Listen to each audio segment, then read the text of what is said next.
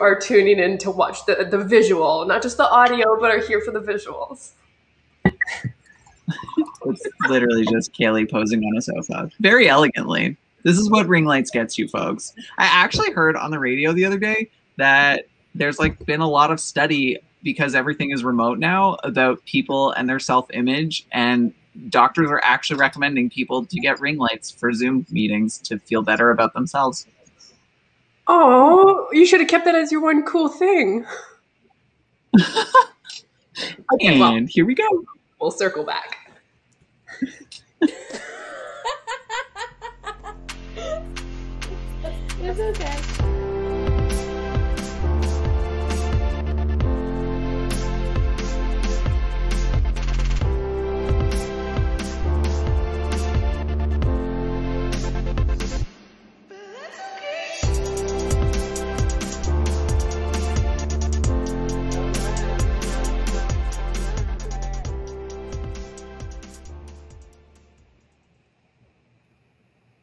All right. Well, now that I'm back with my ring light here, that's the only thing that I have that's been going on fancy. Ooh, you know what's fancy? I'm remembering we're supposed to do our intro. Hello, and we're totally not okay. That's not how it goes, but that's okay. Are you sure? I'm Caleigh LeGrand. and I'm Justin.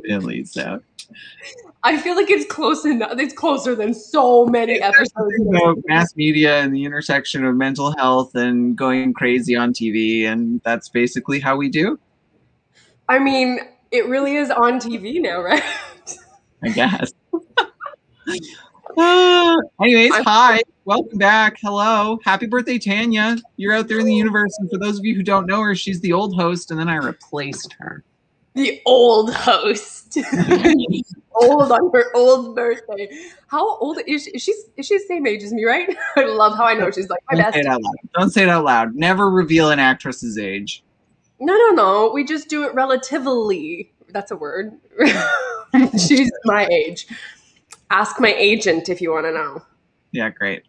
Can play a six year old or a 93 year old. Nothing in between. You're hired. That's all he puts me out for. uh, anyways, guys, I'm real. I'm real excited about this episode because I'm treating it like a therapy session. Um, number one, I mean, let's just reiterate the fact I was talking about this before we went live. Um, Justin said I looked cute, so I need to reiterate that, obviously. But I would also like to just be completely transparent and share my response. I'm first of all not wearing a bra. Um, I went for a run the other day. Forgot to put on a bra for that too. It's just been a lot of like reactionary lifestyle. I had this pent up anxiety and just ran out the door. Yes, I put running shoes on, but I have not been putting the bra on. I've showered and put deodorant on, but like this is also um, this is somebody mailed me this shirt from LA. It was a friend that I met on set, and we just had it was like a set of truth serum, which we, is what we were calling Jameson. And then when he got back, our cinematographer, great cinematographer, shout out to Rick Diaz, um, had a blast shooting with him, and he mailed me this shirt afterwards. So I'm living in this right now. How are you? Crushing it. I'm good. And I am ready for this week's guest.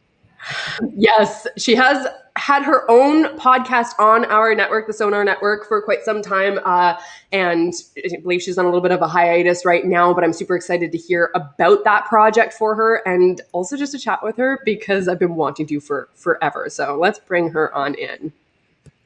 Hi. Hi, Haley. Hi, Justin. Hello. Hello. Dena, who are you? How are you? Tell us things. I'm great. I mean, living on a millionth lockdown, as so many of us are, but um, you know, staying sane as best as I can. And I'm uh, I'm a stand-up comedian when when comedy was once a thing, live comedy, and I'm also a oh. speaker, a wellness speaker, and I teach yoga and mindfulness. So those are the things that I speak about. And uh, yeah, thanks for the plug of the the podcast as well. I also have the Ego podcast, so that's kind of my little forte and I appreciate you guys having me on. We're super excited. to Anytime. You.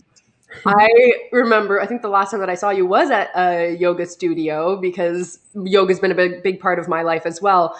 Um, and that's that's when we started chatting about wanting to connect and potentially hopping on each other's podcasts. And i was super curious especially because you have the word ego in the title of your podcast that uh, justin's reception is sometimes he's in the woods. So he'll hop on and off for those visual uh, watchers right now. But can you tell me what your podcast was about essentially yeah, for sure. Also, I'm very jealous that you're in the woods, Justin, and would like to get some more detail on that because I would love to be in the woods right now. I've decided I'm going to trade in city life to be a tradeswoman. I'm going to pick up a trade. I don't know which one. I'm not, not that handy, but I'm going to figure it out and I'm going to go to the woods. Maybe fishing. That's something I feel I could adjust to. But um, yeah, for sure. The Ego podcast um, was a podcast about balance and i may bring it back but it was essentially a series of interviews where i would interview all different walks of life some people in the theater world some people in the um, the acting comedy world which you guys are familiar with and then some medical professional professionals both in the mental and physical health realms um, lawyers who teach mindfulness to other lawyers um, yoga instructors, and what they all had in common was that they practiced some form of meditation, mindfulness, or yoga. And that was kind of their home base. And so they spoke about why it made such a difference in their lives. And then that is really what led me into becoming a speaker. So I started off as a comedian, just doing stand up when I was doing that. And then I became so interested in it that it started to develop into these talks. And so actually that's become more my thing over the pandemic because I think a lot of us are looking for ways to to work on our mental health, right? So that's kind of the story behind that. And it was just so cool getting to meet so many different people and kind of figuring out their little tricks and what they do. And uh, yeah, that's that's essentially what it was about. I already have so many questions as far as what you have been up to over these isolating months, um, especially because you're also a comedian and uh, being a part of the circles in Toronto that we similarly run with improvisers and stand up comedians and watching how they have traversed into this online world and pushed forward with their their careers as comedians and their work online. Um, I am curious to get to that, and I would like to hear about that. But it, it also sounds like you have uh, a couple of other similar areas uh, that we play in as far as you know the the mental health sectors and i'm a daily meditator um, and obviously being drawn to the word ego uh, and the kinds of talks that your conversations must encircle, I I also want to know what your definition of an ego is because there are so many different understandings. And for me, I just my mind already goes to like I have a background in psychology, so there's obviously a differentiation between the Freudian understanding and then melding into Carl Jung, and then think of like Eckhart Tolle, who talks about the pain body. So, what is an ego to you? Yeah, no, I love that. I like that you asked that. Um, and yeah, just to get into what I refer to it as on the podcast and just in my own understanding of it is quite far away from the Freudian definition. And it's mostly anything that separates us from each other in my mind. That's kind of um, how I see ego. And so it's not necessarily a bad thing because some of the things that make us separate make us unique. We all kind of wear these different masks and we're like these different characters walking around. But I like to think that we're all kind of part of the same thing and we're just kind of wearing these outfits for a little while. um, and so that's ego. And so remembering that, I think, I mean, it sounds maybe it sounds a little lame, but remembering that we're all connected in some way, but there is that difference. So ego is kind of really that separateness. So that's that's what I went into it with. Um, and then yeah, Caleigh is I know you know in the comedy world and in entertainment in general, it's just full of ego.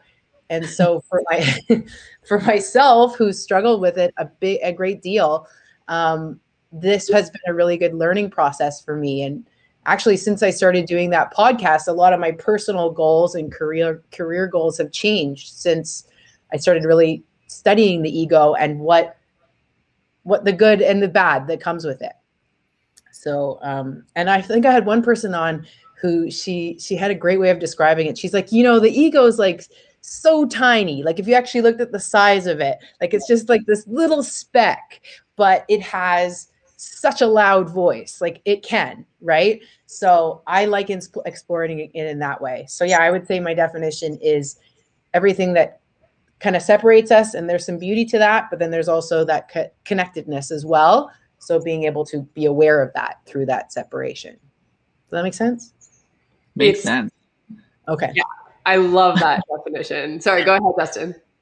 No, you're good. I was just going to ask um, basically, my understanding is that you're on hiatus right now with the podcast. And, and what prompted you to do that? What prompted you, like, obviously, you're growing throughout this experience and maybe it no longer suits suits your needs or it's just too demanding or something but there tends to be a story behind it most of the time and I mean, I know Caleigh and I like every time we're like scrounging up people and stuff too. Like it's a lot of work that goes into it that people don't realize.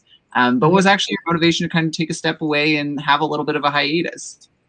Yeah, no, that's a great question. Um, yeah, and so I would love to highlight that, like just all the work that you guys do in putting it together. It sounds really nice when you get to be the fly on the wall as the audience member, which is really wonderful, and you get to hear all these different conversations uh, but yeah, there is a lot of work that goes into it. And for me, um, just kind of going back to what I was saying about how my goals have changed, my career has changed a lot um, over the last couple of years. And so I got a lot of information from the podcast that I used in an initial talk mm-hmm. that I started giving about wellness.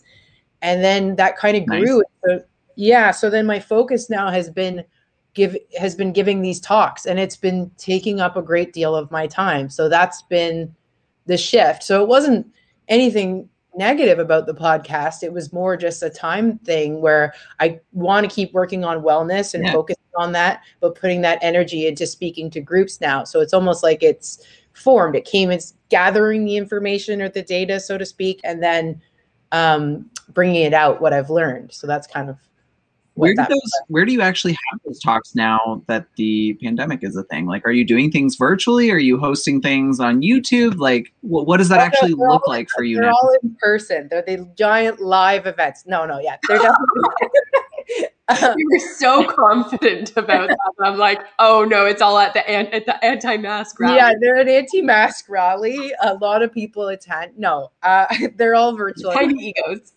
yeah, t- tiny egos. All together though, so loud.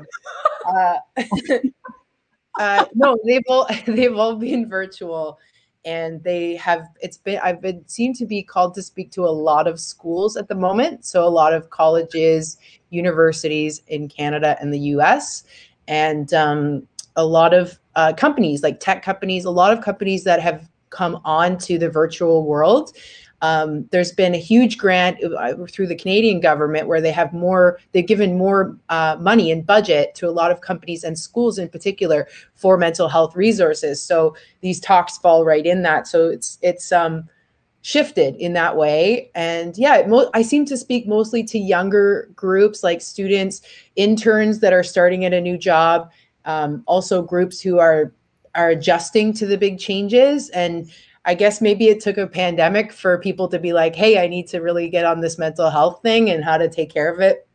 But I'm grateful because I, I love doing them. So yeah, that's is there that's is there a common theme between the universities and the tech companies in terms of what they're actually asking you to address in these talks? Oh, that's a good question. Yeah. Well, yes, there's common themes, but things have changed. So the original request that I was getting at the beginning. So, oh, I should mention, I was doing live talks before this pandemic. So I, I did a TED talk a couple of years ago, and it, so, it, so it's sort of built through mm-hmm. there. But that talk was developed from the podcast. So that's why I explain it all because it's sort of come together uh, that way. But um, there's been a change. So before the pandemic, I was like, hey, you know, here's this thing called yoga. Yeah, you've heard of it, but you know what's the philosophy behind it? Here's some information. This is something called mindfulness. This is how it works for me. Um, and people were like oh yeah that's interesting. You know wellness category i'll get to it that sort of thing. And then mm-hmm. since the podcast or sorry since the um, pandemic happened it it sort of formed into we need this now. We need to invest in our teams and we need to give them this resource. And so at the beginning of the pandemic, it was like how to deal with change, how to deal with trauma, um, like tactics for that, takeaways, like little exercises people can do. And now it's formed into coming out of it. So, sort of leading out of this challenging time and looking forward. So, it's sort of more leadership focused. So, yeah, it's not specific to one group. It's more like I'm watching all of the audiences kind of merge at the same time, if that makes sense. That's pretty incredible that uh, on, you're saying, a governmental level, there's been that shift. Um, and so most of the talks that you're doing is it through a, a government agency a program or is this uh, like a solo entrepreneurial uh, endeavor that you've taken on and that you are seeking for your own clients resources um, well, I work with a, I'm represented by a speakers bureau, but I'm also represented by Comedy Records, and they did my comedy album. They've done a lot of my comedy, uh, like they're like an agency representing a roster of comedians, so they book my talks as well. That's super cool. So that's what you started. It, it, it, it was a shift within that agency. They were able to make the transgression into the virtual world. You started off doing live and then moving in the virtual world with them. Yes, exactly. So they were very supportive. I always said they're like they're just an amazing, ama- amazing, uh, amazing. They're amazing. they're amazing. Uh, they're just like very, very supportive of whatever it is you want to do. So there's a number of different comedians in Canada that work with them. One of them is um, K. Trevor Wilson. So he's on that show Letterkenny. He's really focused. This is just an example. He's really focused on film and television. So in, uh, in addition to his, his stand up, that's his focus. Um, other comedians in the roster are the same but some are more focused on writing. And for me i it was really speaking. So they made an effort to be like what else do you guys want to be doing? This was even before the pandemic. And then once the pandemic happened they said do you do you guys have any other additional skills that you want to put out into the virtual world? Like do you do play music? Anything that we can translate onto the screen? And so that just kept me um, uh, encouraged to do more of the talks. So that yeah, that is really cool. So this is your agent as as far as acting also goes. Um, yeah, I don't I don't do a ton of acting. I I'm not really I'm not really an actress. I, I uh, or actor. I um love to write, so I'll submit for shows for writing and stuff like that. But yeah, not not really acting. I'll do it if someone asks me to do it, but um yeah, I'm not that good. I know other people out there like you, they're much better. I saw something you were in with Garrett. Garrett's also with Comedy Records, and you were in. Oh, um, oh. Yeah, and, and and you did a wonderful job. That was great. He's he's also someone who's gone the film and TV route. So yeah, they've just, they're just really supportive. I know other people, um, yeah, that want to focus more on the writing end. So I do some of that, but then yeah, speaking as well. I guess I just yeah made an assumption because I've had so many comedian friends who also have agents that rep them for like commercial work or even film and television. Uh, and Garrett, I'm assuming you're talking about um, the James. film Joey Boy. Yeah, which was wonderful. Was so funny. I loved it. Like his yeah. character was funny. He, he I, like it was so well done. You guys did a great job. Thanks. Thanks for watching it. It was such a joy to work with him. He was just so I mean, the biggest challenge that I had on that project was not corpsing, was not laughing while he. it was just like a one day shoot that I. I'm like, okay, don't turn the camera around on me just yet because watching him improvise so much of that, and a lot was. I mean, it um, it was scripted, but his performance in particular, he had such leeway and he was able to improvise such golden moments that had me laughing out loud, which ruined a couple takes, I'm sure. but yeah, that was super fun and and so the majority of the work that you've done as far as comedy goes is what live. stage live. Okay. Yeah. Yeah. So I'll like like I'll go on tour and stuff like that. I just I you know some people like you probably get a great joy from being on camera and and and working from a script i much prefer the just the live aspect so that's why i love doing talks because they're live. I like connecting with the group. And so, yeah, I've just really, I know there's a lot of, like you said, a lot of um, crossover for people who do live performance. They go on, on camera as well. I'm not against it, but in terms of where I'm putting my energy and stuff like that, I just much prefer giving a talk or doing a live comedy show. Yeah. You, go ahead, Justin are you still able to get that same sense of feedback and communication with the audiences in the virtual spaces? Ooh, a good question. So, for virtual comedy shows, no. um, or they can be like I think it was Garrett actually who said Garrett's a very good friend of mine, by the way. He was like a little bit of the comedian dies every time they do a Zoom show, and uh, it's yeah that no that's a hard no on that one. But in terms of giving the talks, it's different. Yeah, giving a talk, I I will probably continue to do virtual and live once we're able to do live things again. Aside from the anti-mask rallies, I'm just kidding. Keep mentioning that. If you guys share a snippet that's when I'm gonna finally show up. Yeah. you guys like share a clip of this. People are just keep hearing me highlighting the anti-mask rallies. They just think that's what I'm promoting here. You ruin your career. I want to promote. Okay, just this.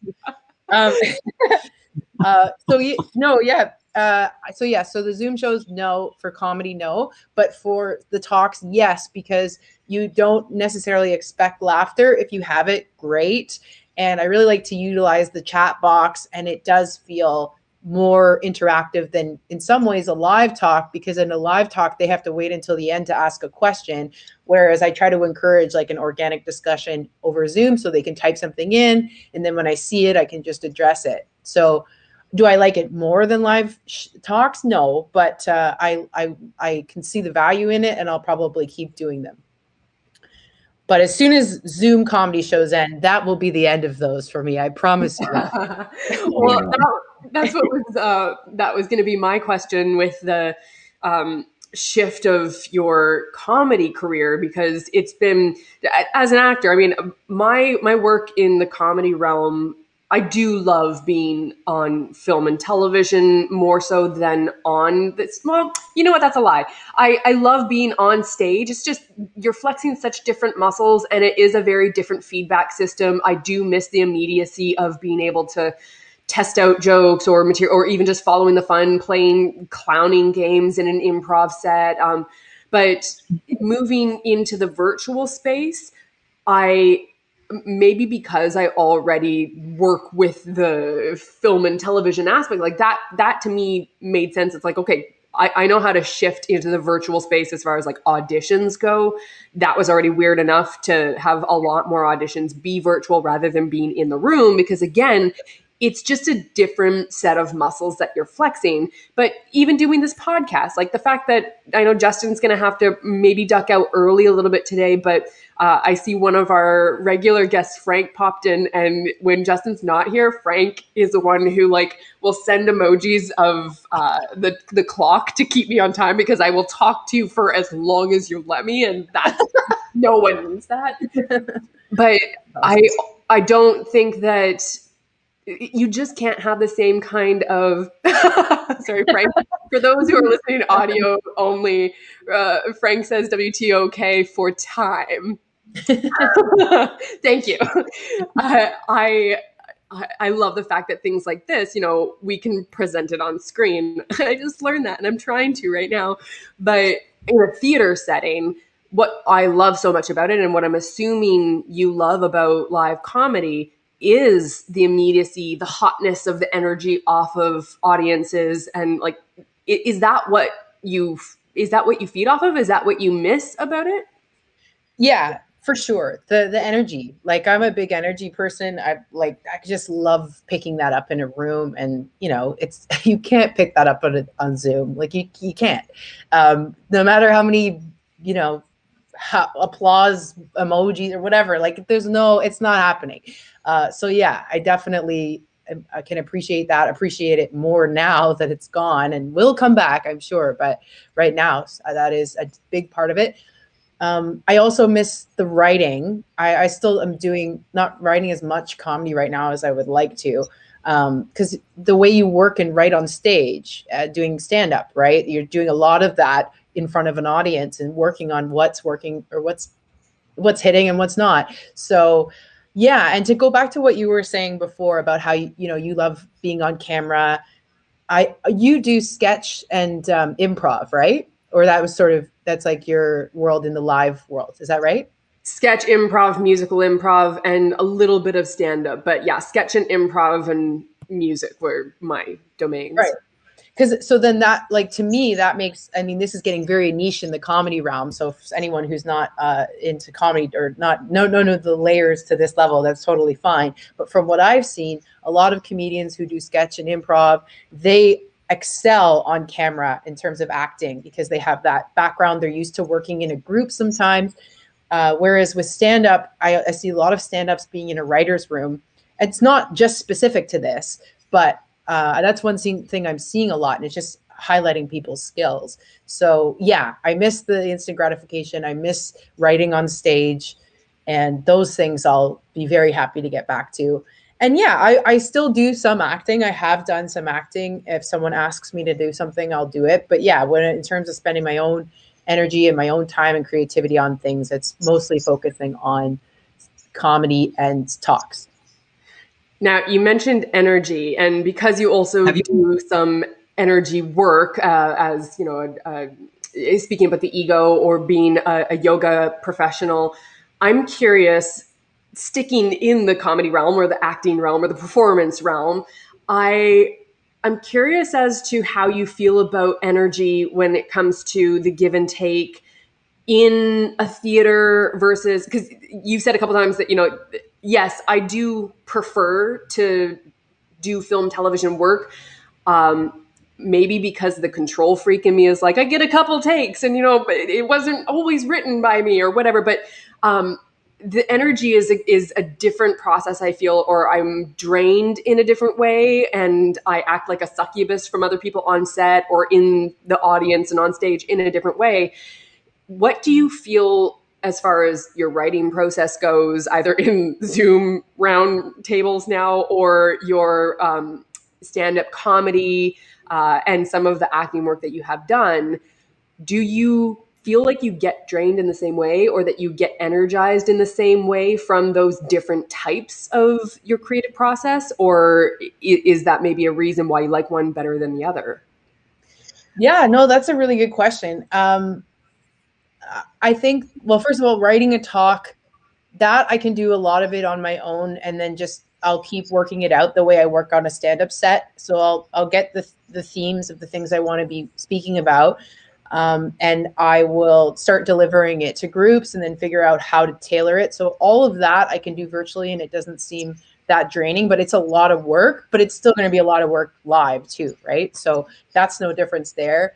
Um, yeah, in terms of I love the energy. I actually feel more energized when I'm live and I can work out a comedy set on stage and and really get that feedback. I don't feel as inspired to work on stand up comedy right now.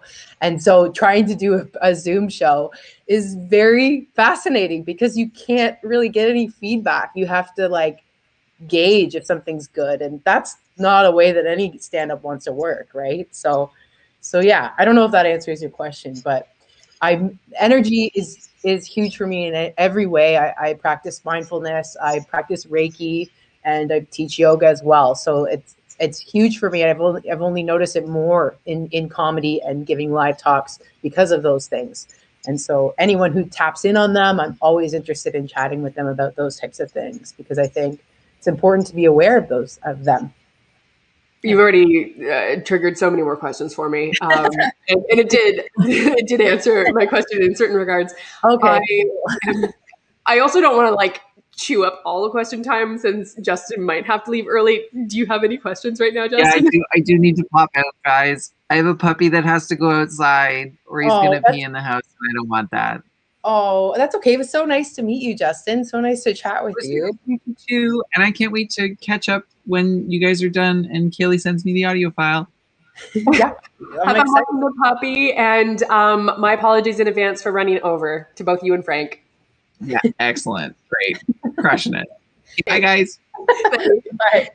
Uh, so my questions from what you just presented are um, right now kind of diverging in two different directions because you were talking about your process as a stand-up comedian and you said that you miss being able to work it out on stage. So first off i'm curious you don't write out all of your material and rehearse it to like down to the minutia of performance and inflection of every word and in the syntax before you get on stage? Do you just go up with ideas or? Oh, yeah, yeah, yeah. So the, the yeah. So what I've seen with stand-ups over the years is there's kind of two ways. There's pe- there's comedians who do that. They write every detail, and those stand-ups I see them as a writer first, and then there's the other kind of uh, stand-up that's more of a performer first. And so you can kind of see when they're on stage, like if they have this solid writing, and it's so funny and they're just kind of standing straight and maybe a little bit nervous right away you're like oh that that's probably a writer. They started as a writer. Um, and then if you see another uh, comedian a lot of the time these types are hosts of shows because they're full of energy and they're just like hey you know what's up? Um, they're a performer first and so over time you kind of merge the two.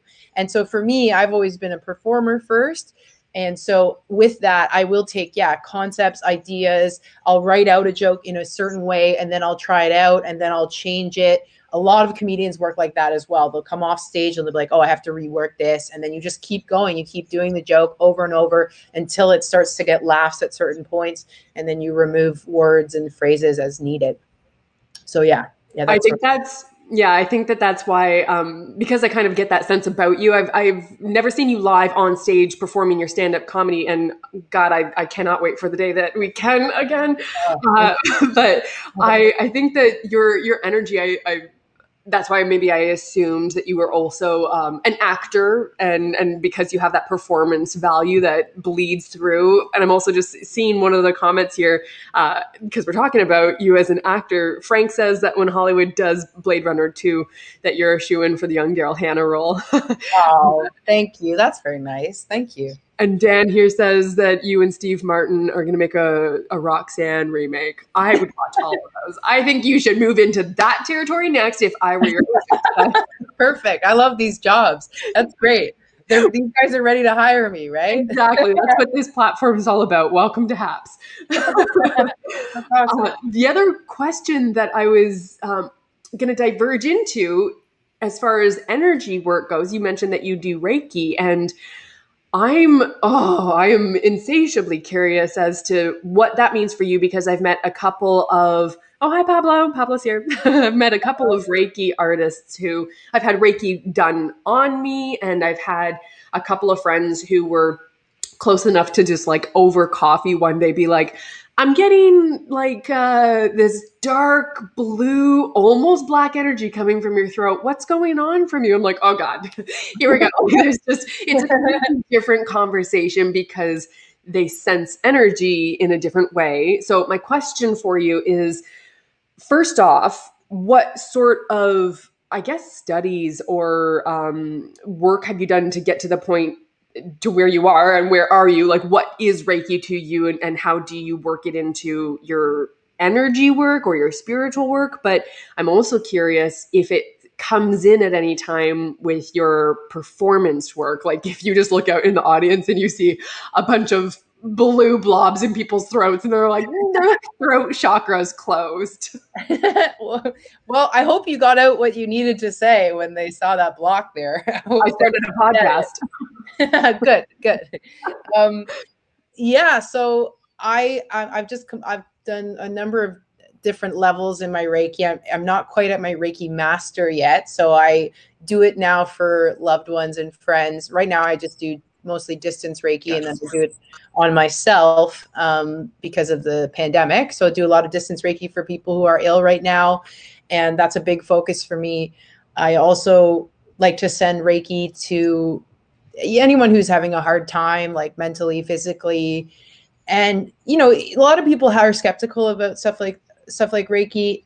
I, I if, if if anyone's maybe opening their heart to this a little bit more, what I would say is the same when you say a prayer for somebody um, this is can be thought of in that way. You just are setting a good intention.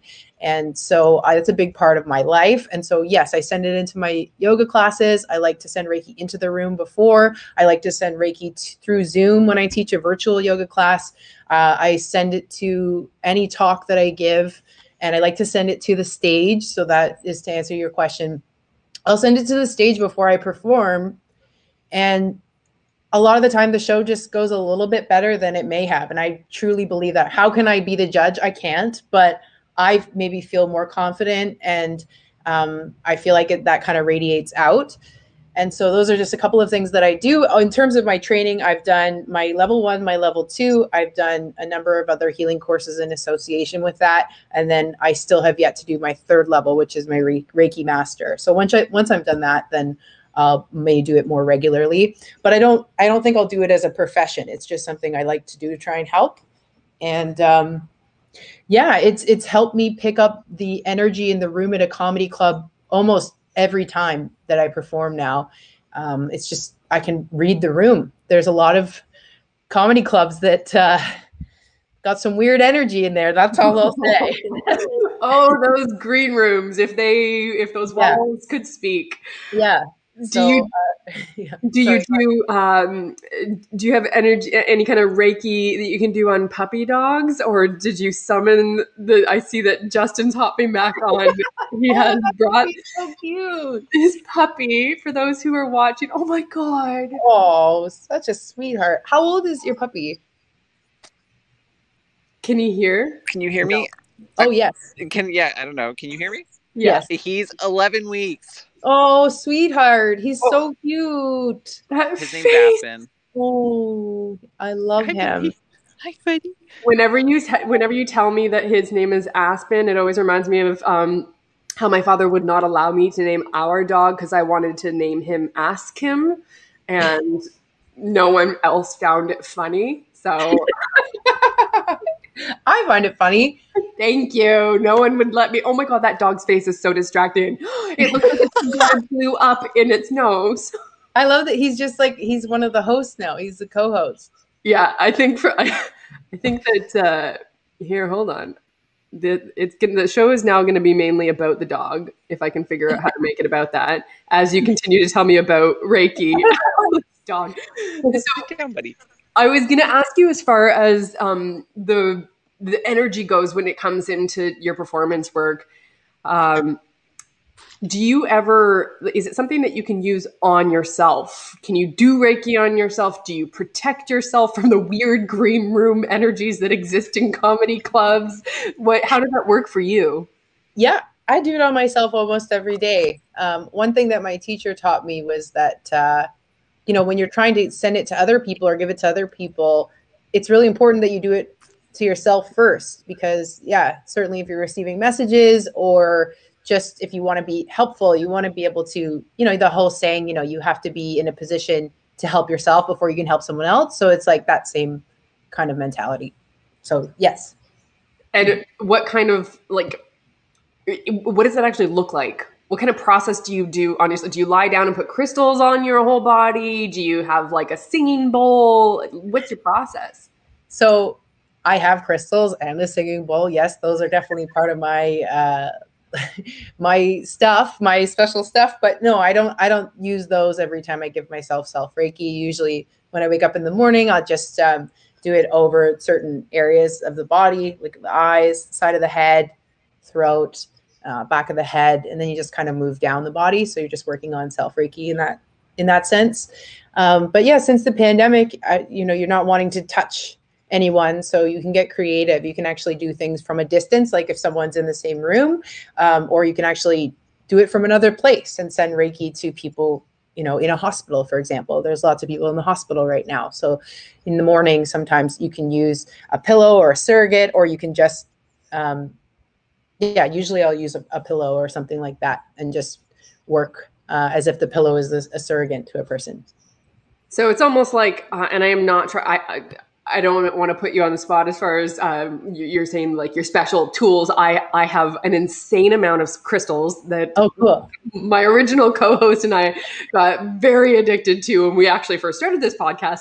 Uh, so I don't mean to like put you on the spot. I'm actually obsessed with all of this. I have a singing bowl. I oh, have oh, cool. like, you name it, and I have spent at least half of my year's worth of paychecks on that for myself. hey, I get it. I get it. It's, but you know what? It's a wonderful thing to invest in. That's my opinion, and that's where it will stay. So. Well, but it sounds like what you're talking about has similarities as far as meditation, mindfulness, awareness goes that you're just using your hands and the awareness of how energy flows, I'm assuming, and either moving them around your own body, placing them on your eyes, your ears, your throat, wherever you feel that energy needs to flow to. But mm-hmm. what's so fascinating and and maybe I don't know if you can speak to this from the, I guess, psychological perspective or from the studies that you've done as far as how this energy flow is manifested. It makes me think about. Um, I, I, was talking this morning. I'm on a I'm a moderator on a panel for a, an online room called the Psychology of Horror because I've been part of the genre film industry for quite some time that and and my background academically is psychology and philosophy heavy.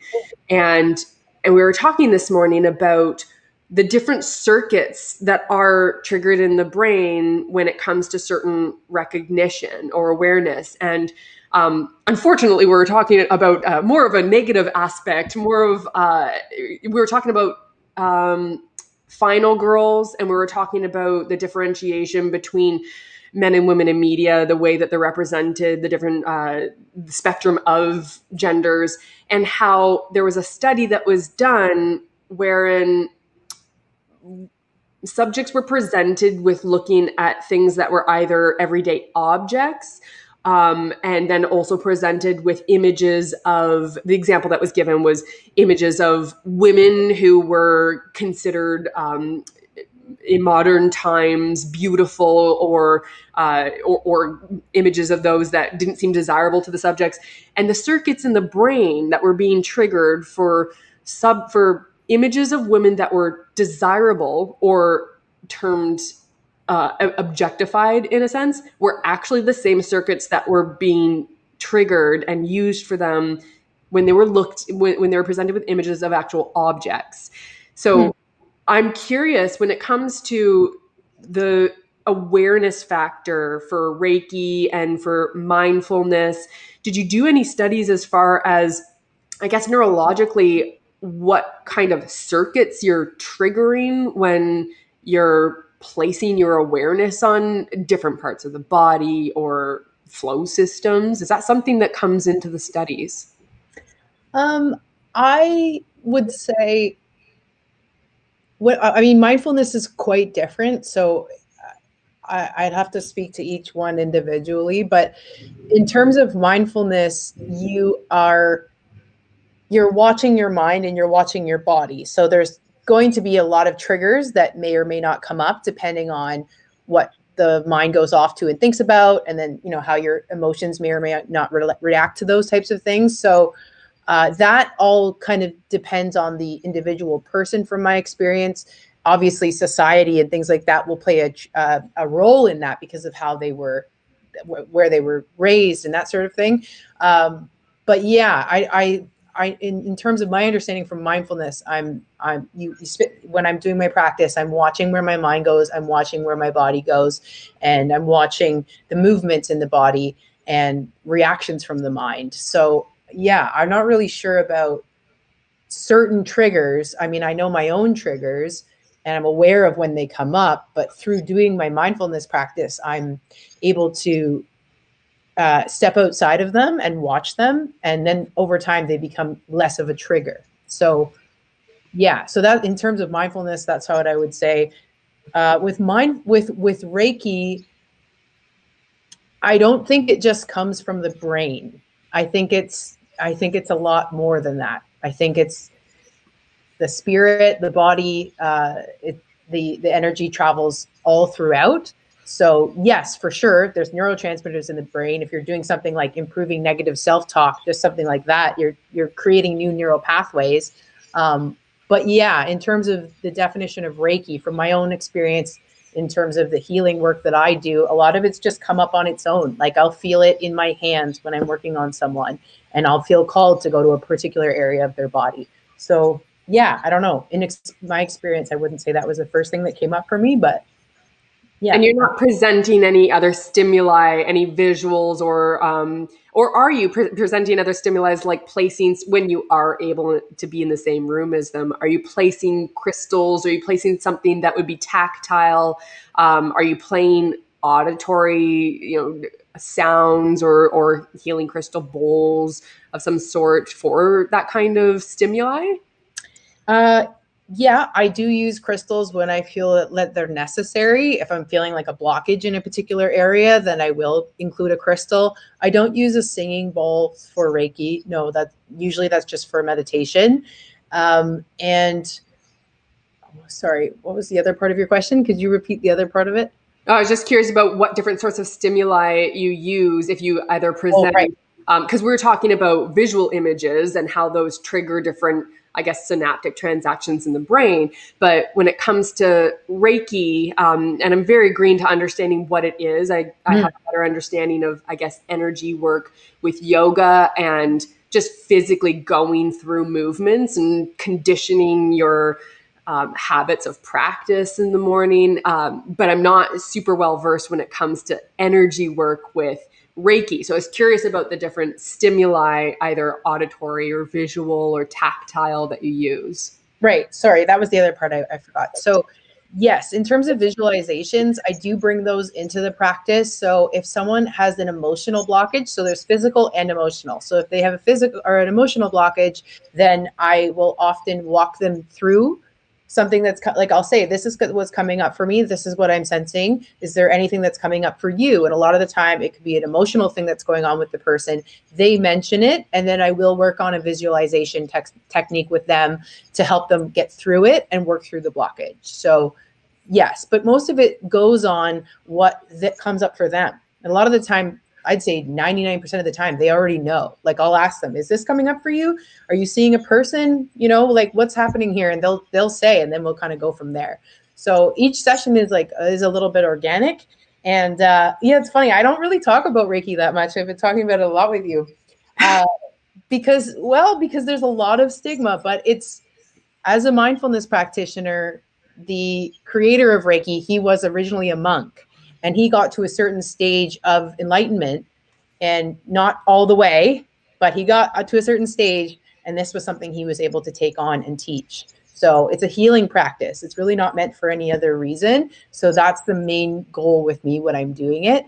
And that's why you know i really focus on things like distance Reiki and stuff like that right now because we can't be in the same room but you can still send people are always like oh send positive vibes. This is actually that right? So uh, yeah yeah, you can actually send positive. You can send vibes, and I think we're we are all sending vibes in one way or another, whether we're conscious of it or not.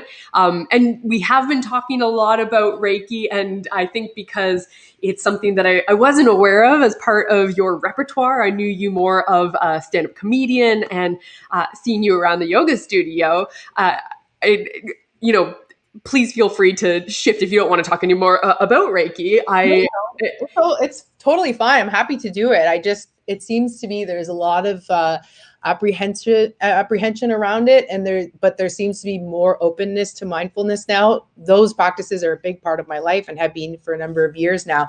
But i do find it interesting in terms of where everyone in the west is at. And yeah like yourself when i first got uh, learned a little bit about reiki i was very very interested just kind of wanting to learn as much as i could. Um, but yeah in terms of sharing i've become a little bit more apprehensive with it because there's been different responses. So that's that's all I'll say on that. But yeah. Mm-hmm. Yeah, well, no, I think that's a valid point. I think that's one of the reasons why I also was curious about starting my own podcast and having conversations about mental health and how it relates to the world of media because there are, you know, conversations about Reiki are not mainstream. And the more and more that we do create more space for conversations uh, on topics that are more taboo, I think the more we can understand them or wrap our minds around them. Even just, you know, the, the comment that I made about the article that we referenced this morning um, in a very different conversation, a very different way, there was a lot of other context that, you know, we don't have time to get into here. I see that there is a comment from one of our uh, live viewers that says there's no proof that when men look at women and objects, they are thinking the same thing. So, th- I, and I absolutely love pushback, and I would love to. I, I, wish that that could have been part of our conversation this morning. We're not going to use this podcast right now to to dig into that particular article, um, and perhaps I shouldn't just make slight tangential or tiny comments about um, something that does deserve a lot more space uh, for that conversation because again not my article not my research uh, but it was fascinating to hear about and i'm just curious to listen to all these different facets and all these different voices that can contribute to a better understanding of these things. So reiki and the energy work that you do that is this other side to you that i uh, knew very little about, but I knew that there had to be something else as far as especially ego work goes since you had your own podcast on the sonar network that that you know the titular comment of, of ego being in there. It's um I, I was super grateful seeing some of these podcasts come onto the same network and around the world uh, that have to do more about the mental space and creating more conversation for how we keep ourselves healthy mentally because it's not that conversation hasn't been given the same amount of airtime i think as how we keep ourselves healthy physically. There's an entire industry that is um, beyond booming. I i don't even know how and where and when it would have the, the fitness industry and gyms how they started. I mean i know the virtual world would do well with a Farrah Fawcett uh, at home video. Was it Farrah Fawcett who did the, the aerobics videos? Suzanne Somers? Or no, uh, Jane Fonda. Jane Fonda, thank you. Mm. Uh, and Suzanne Somers and somebody else on uh, Body Break. right. Yeah. Joanne McLeod and Hal Johnson. The, mm. that one's wow. more local. That's a Canadian uh, reference. Yeah. For all the Canadian viewers out there, I feel okay. like somebody should do a revival of that because in a virtual world, that would excel. But to bring it back to the work that you do, um, because it is stigmatized, uh, not just Reiki, but I think many different conversations that sit under the umbrella of mindfulness. And we're we're gonna come close to wrapping up since I, I am noticing the time and uh, Justin's not here to rein me in. But but I do have one more question before we get to our fun games. Um, when it when it comes to this idea of you know how even potent I think emotionally people might be charged these days, uh, no matter what you're dealing with, you must and i say you kind of for everybody i'm assuming every every emotion must be kind of amplified with what we're going through collectively. It's uh, i mean unprecedented times in in in our lifetimes. Yes we can look back to history but with the work that you're doing do you feel that that's amplified the the need or the lean on you? Do you feel um does it feel like it's more of a pressure for you? Has it become more challenging in these times? Or do you have a regular enough practice taking care of yourself that you feel fine to always be available to help anybody else whenever they need it? Well, I think I think no one has that completely figured out. Uh, but, I mean, if they do, I'd love to meet them. Uh, I do, yeah, I have I have a practice that I rely on. I will say, like mindfulness is the biggest part of my life. That's something I practice every day, and it's made a huge change in my life. So that's what's helped me have the capacity to do some of the work that I do.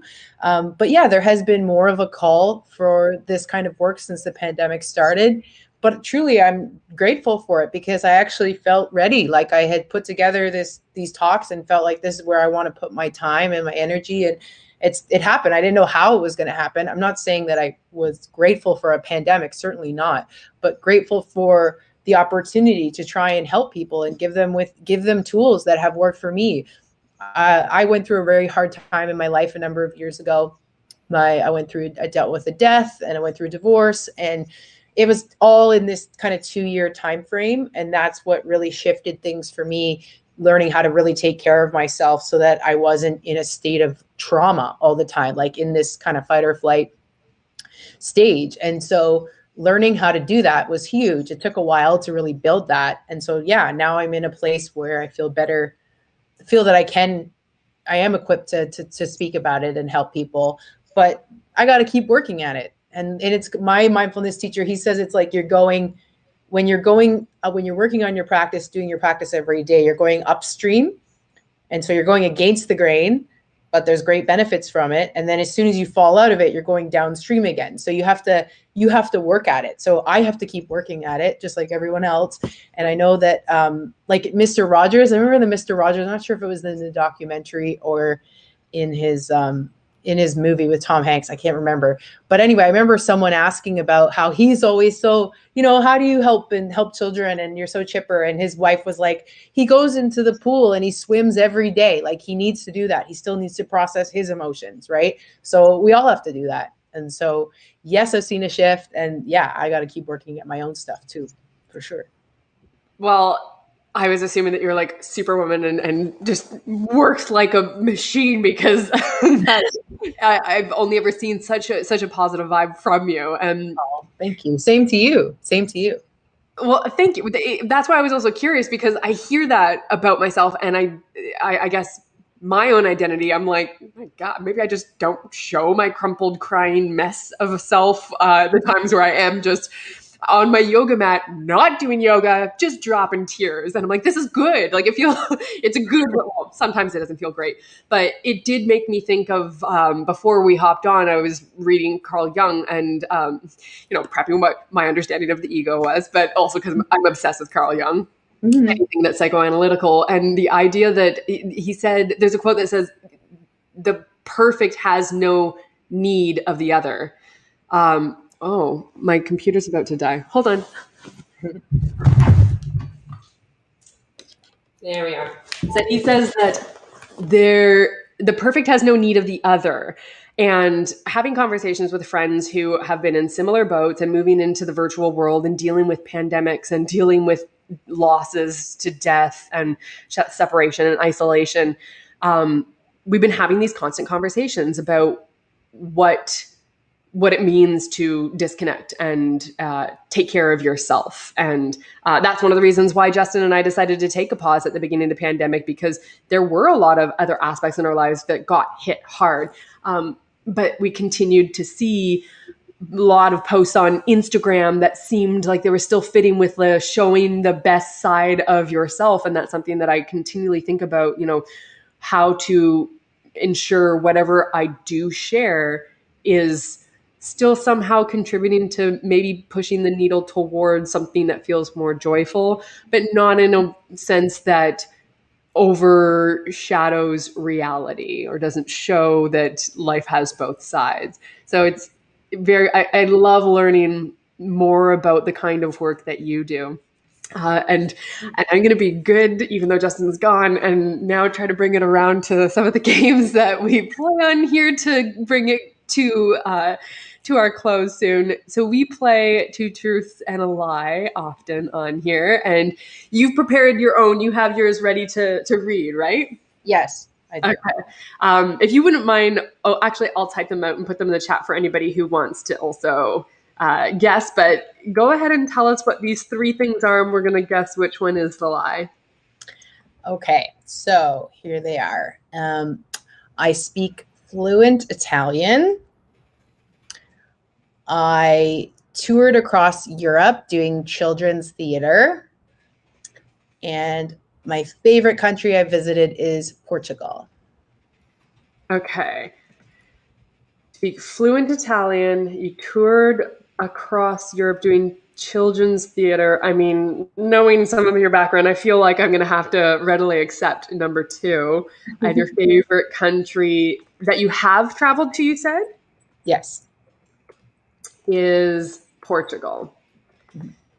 I mean, I don't know where else you traveled to. And Canada's pretty cool, but but I mean, it's not like you travel there; you live there. My, I'm gonna put these in the chat for people. If anybody who is watching live wants to try to guess which one is the lie, um, I think I already have I think I have my guess. Okay. normally this is where I land on Justin and make him guess first so that I can change my answer. He's not here. All right. Well, the the 141 people who are eyeballing are not saying anything yet, so that's pressure on me. I'm gonna say, I'm gonna say that Portugal is not your favorite country that you've traveled to, because that seems the easiest to tweak. yeah, mind you, I have never heard you speak Italian, and I don't hear an accent, but I'm not great with accents. All right, you're gonna have to give us the answer now. You're right. That was right. I okay, should... well then, where is Canada? Canada's your favorite? I actually haven't been to Portugal. Um, oh, yeah. Well, I, I, guessed, but it wasn't for the right lie. I still assumed that you had been there.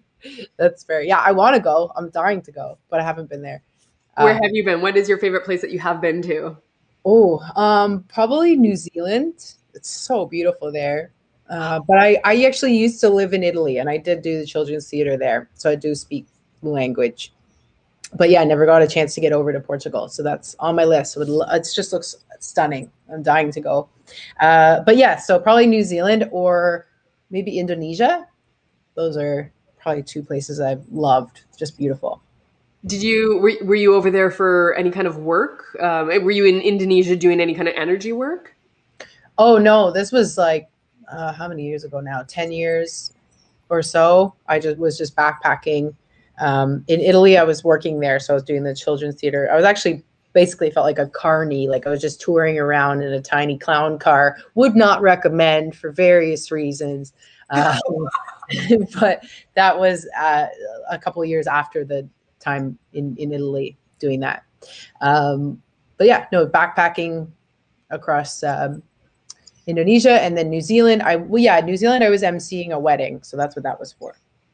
Oh wow! I mean, just talking about travel in general is making me nostalgic and jealous. I have Italy on. Uh, it's near the top of my list of where I still want to go visit. I can't believe I still have not been there. Then again, I'm also kind of surprised that I still have not yet visited my sister in in her new place over in, in England. She oh, she wow. moves around just as, as much as me. For me, I move around Toronto right. every couple of months, right. and she moves around Europe, which is much classier and, and uh, worldly, we'll say. But uh, that's cool.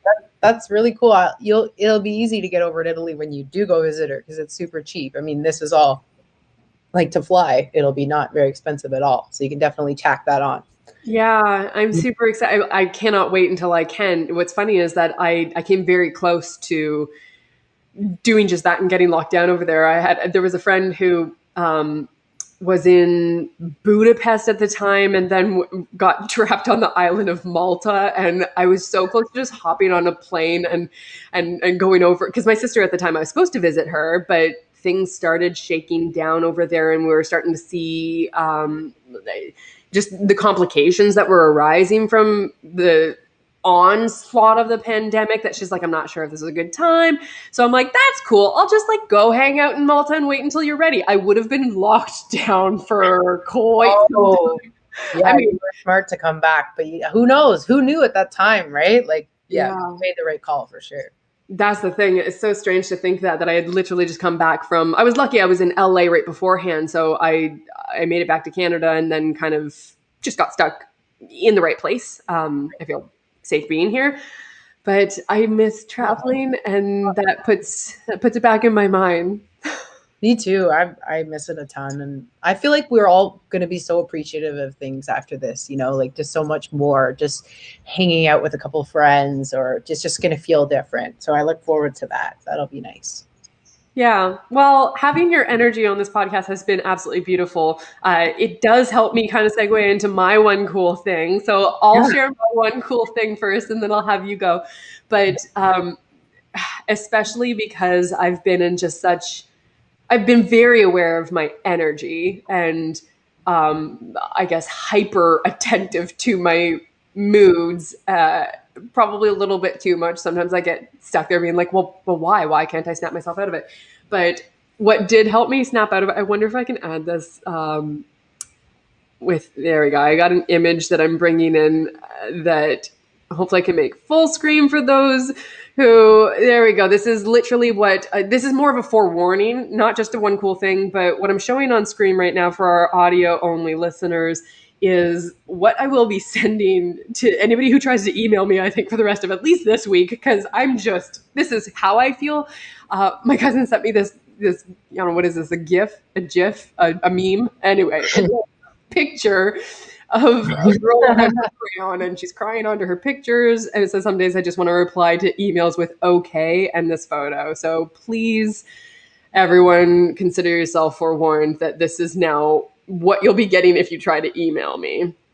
Um, that's that's cute. I like it. And now me trying to figure out how to like stop showing it. uh, guys. So that is for this week, and um, for the rest of my pandemic days, my computer, I don't know if it's gonna last, but we're gonna try this anyway. I'll show you what I have been doing to keep myself, I don't know, somewhat sane. I have an herb garden that I've started, and instead, like- of, instead of having um, my picture frames on walls now, they are the placemats for my herbs and the water that falls out of them. So those are my. I love I love anyone anyone who gets into the green thumb stuff. I love hearing about that. That looks awesome. Well, hmm. I definitely have greens, but my thumbs are probably not the best mothers to them. So it's a lot of phone calls to my mom being like, I'm going to plant this onion. Will I have an onion tree? And she just sends back the word tree with a question mark and laughs at me for the rest of the day. That's awesome. All right. What about you? What's your one cool thing? Um, okay, so I I practice mindfulness as I've mentioned. So a lot of people ask me how to practice, and um, so I thought I would share with you. You may or may not already know. I know I know you meditate every day. Um, mindfulness a little bit different. One thing that I love to try and do in my practice is I try to incorporate it into a daily task. So it's a really good place to start for anybody who's like, yeah, I don't really know what it is. I want to try it, and I don't really want to do a seated practice.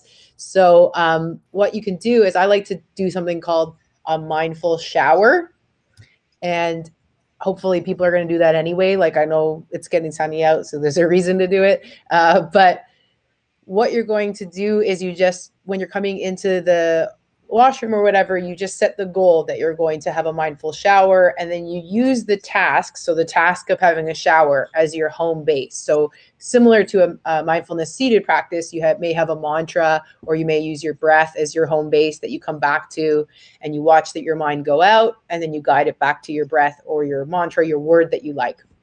So in this case, you're doing it with your shower. So you're just going to count how many times you're guiding your mind back to the task of having a shower. So turning on the faucet, I'm here. Let the mind go off. It's going to think about all kinds of stuff, reality TV or whatever, grocery list, whatever it is. Let it go off and then just guide it back. And then if you could count in that time period, if it's 10 minutes, how many times you did that, you're doing it. That's practicing mindfulness.